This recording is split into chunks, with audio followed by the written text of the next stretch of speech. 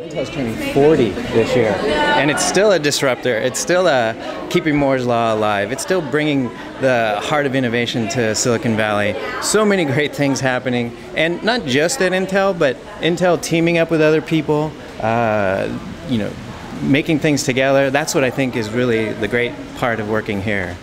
Back in January, Paul Otellini was a keynote speaker at CES, at which time he introduced a term I hadn't heard before called the personal web. Uh, I asked him, what does that mean? And what does it have to do with Intel? And what difference does it make to me? The internet becomes a lot more useful to all of us when things come to us. I mean, the way we we use the internet today is we search for stuff. We go out on the internet, we look for something, we you know we find something, we find information, we find friends, we find a contact, we find a purchase, a book, whatever. Um, ultimately, you'd like to be, to be able to re reverse that process, to have the context awareness of, of what you need, where you are, what your preferences are, all built into your machines and then have those and then have those make the web available to you. So things come to you, information comes to you when you need it without even having to ask. That's the notion of the personal web. That's what's changing. We're seeing that, you know, it is not just about the technology all the time. It's a lot about what's going into the technology and then what people are doing with the technology. That's kind of where the world is and that's a, that's where we're going. Intel Inside. We've heard that phrase probably for half our lives. Uh, the microprocessor from Intel is probably the most branded uh, electronic component in history. Um, but what is going on inside Intel regarding social media? How is it changing the culture inside uh, Intel? How is it helping to make better products for the future? There's about 2,000 bloggers at Intel today. Anyone who wants to blog can get a blog account. We, don't restrict it. Yeah, I really believe inside Intel that we ought to be getting more and more of our people involved, feeling empowered, go out and share their stuff. And what we do is teach them how to do that. We give them examples of people who we like who are out there, like yourself, um, who are using these tools very well to connect with people, to share, to learn. People have questions and and problems and other people have the answers a lot of times. Well, I think you see it a lot within our. Uh, it's growing in importance within the Intel employee, within both our employees, uh, between people collaborating and communicating with each other, as well as uh, them reaching out and involving and listening to our customers. Uh, I think you'll see that happening more and more. No, I actually have really started learning about this maybe about four years ago, and so there were a whole bunch of pioneers involved back then, and they were more doing it on their own and trying to teach the RIT folks what is possible.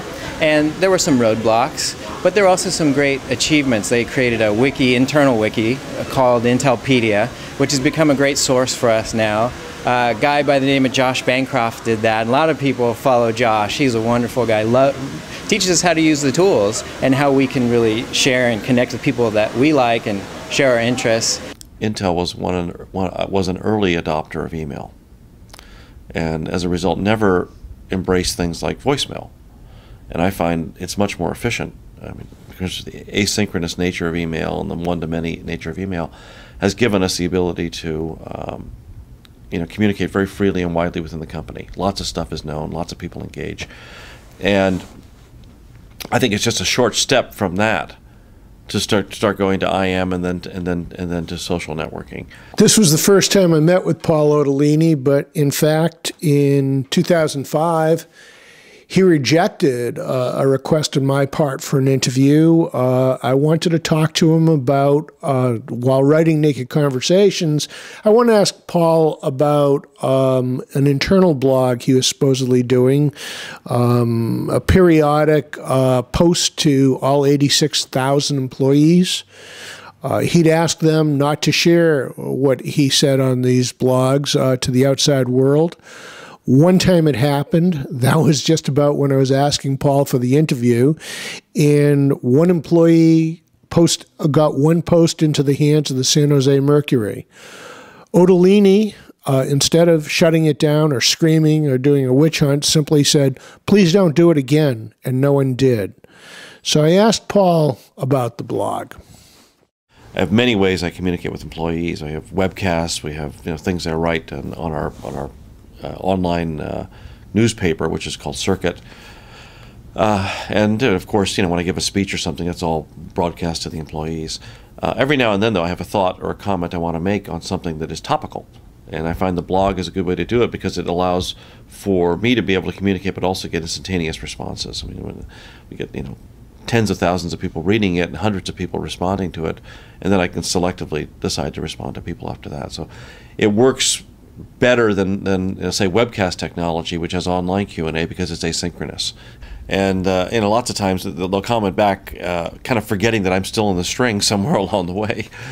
And uh, every now and then, someone will say something that that uh, compels me to respond to them privately, uh, which I'll do. And because sometimes I don't want to, you know, say something publicly in front of tens of thousands of people. So, you know, very often I'll chime in on the blog and say, "Well, my view is this," but sometimes I'll say, "Hey, Joe, you you sent a note.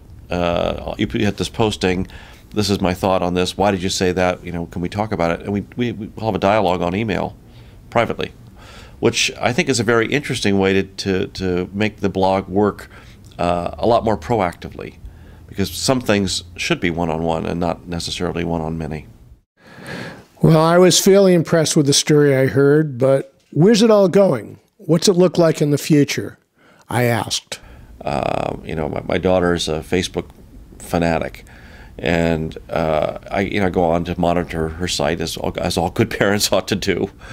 But what I find is that it's, it's pretty boring, and what I what I like is much more immersive uh, environments. And and I look at something like uh, Second Life, and see how, how that that gives you a much more realistic view. And it's still pretty kludgy, but but to me. The future of social networking is is merging things like Facebook and Second Life into a truly immersive 3D environment and that, that's what we're trying to enable because I think when you do that you make you basically make the world a lot more real a lot more interesting um, a lot more dynamic uh, of course that sells a lot more computing which is good for our company uh, but on the other hand it's a lot more fun I mean it's it's like taking uh, this whole world of 3D gaming which is now you know extremely popular and bringing that kind of realism to social networking and once you can create a, an environment like that you can start thinking about virtual classrooms you can think about you can, you can start thinking about attending Berkeley from Santa Cruz without having to drive to Berkeley. Things like that.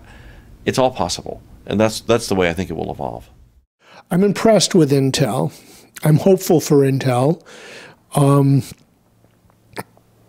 and we'll see where it all goes. This is Shel Israel at Global Neighborhoods TV.